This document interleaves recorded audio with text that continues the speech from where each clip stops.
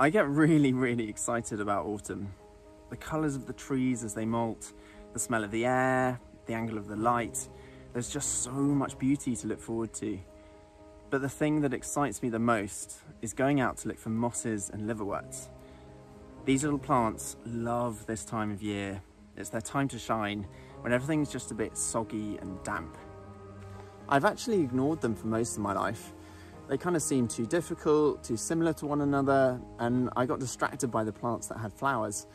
But in the last few years, I've spent the autumns and the winters looking closely at them, and oh my goodness, they're amazing. There are just these entire worlds that I had no idea existed. My name's Leif, I'm a botanist, and I'm on a mission to open people's eyes to the miniature worlds of mosses and liverworts. This is my favourite bit of temperate rainforest, tucked along the shoreline on the west coast of Scotland. It's one of the most peaceful places I know, and it's where I've been teaching myself about bryophytes.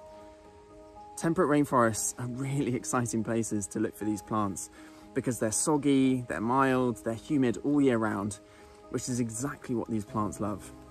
So I'm really, really looking forward to going for a wander and seeing what I can find.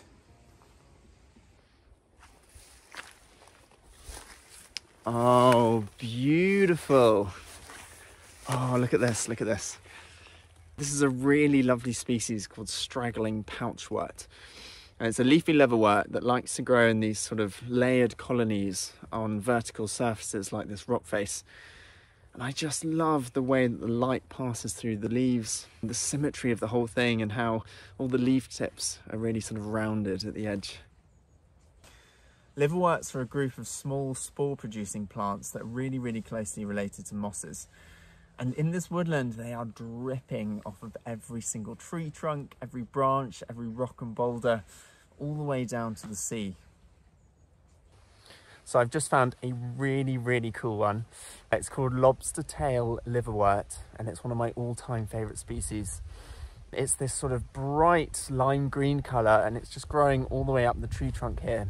And it is so beautiful. I mean, just look closely at it. You've got this sort of rounded back where the leaves are folded over the top.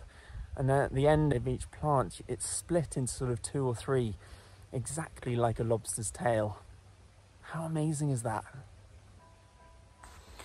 One of the things I love about these plants is their adaptability. So because most plants have flowers and seeds and internal plumbing systems, then most people dismiss bryophytes as being primitive, which I think is completely the wrong way of looking at it. Because these liverworts here are using their little root-like structures to grab onto the tree trunk and they're taking water directly out of the air through their leaves.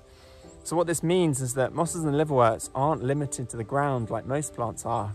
They can climb up this tree trunk, get great access to light, and it really expands uh, the amount of available space that they have to grow in, as well as reducing competition from those bigger, thirstier plants for water.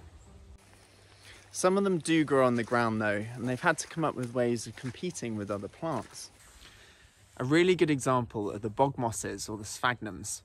They like to grow in acidic soil, so what they do is they pump out compounds into their surroundings to make it more acidic, not only reducing competition from plants that don't like those conditions, but also creating a whole load of habitat for their own offspring.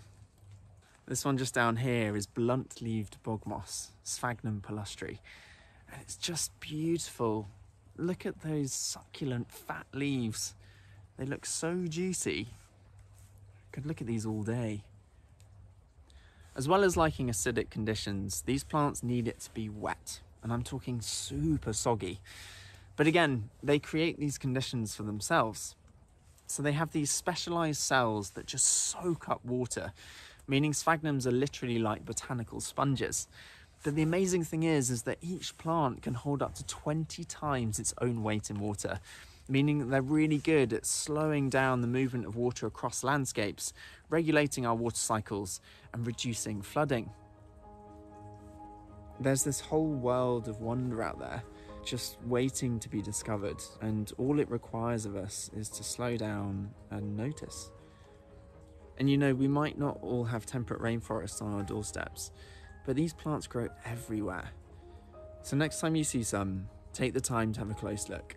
It might just be the best thing you ever do.